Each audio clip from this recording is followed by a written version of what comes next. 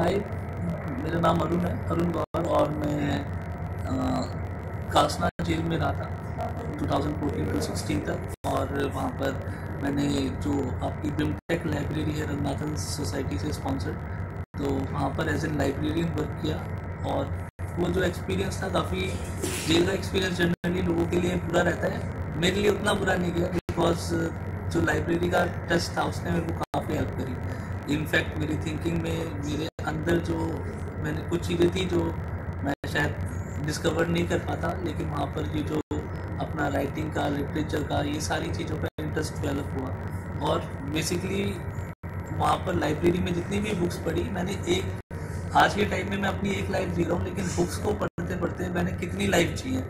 Her books के लिए अलग लाइफ अलग स्टोरी अलग कैरेक्टर तो वो सारी चीज़ें पढ़ के इतना जो स्ट्रेस था होना था, वो उतना नहीं हुआ। और कम रहा काफ़ी। और सेम रहा आई थिंक औरों के लिए भी, जहाँ तक मैं समझता हूँ, जो बाकी वहाँ पर मेरे साथी थे, दोस्त थे, और जो बंदी थे वहाँ पर, उनकी लाइफ में भी इससे भी शायद ज़्यादा इम्पैक्ट रहा होगा। तो ये है कि जो बिमटेक लाइब्रेरी है रंगनाथन सोसाइटी वाली दोबारा पूरा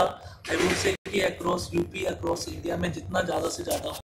एटलीस्ट जेलों में तो अपना, जहाँ पर लोगों को सबसे ज़्यादा ज़रूरत है। इसको प्रमोट ज़्यादा करें, अपनी लाइब्रेरीज बनवाएँ, ताकि ये एक अलूमी हर एक के लिए हेल्पफुल रहे।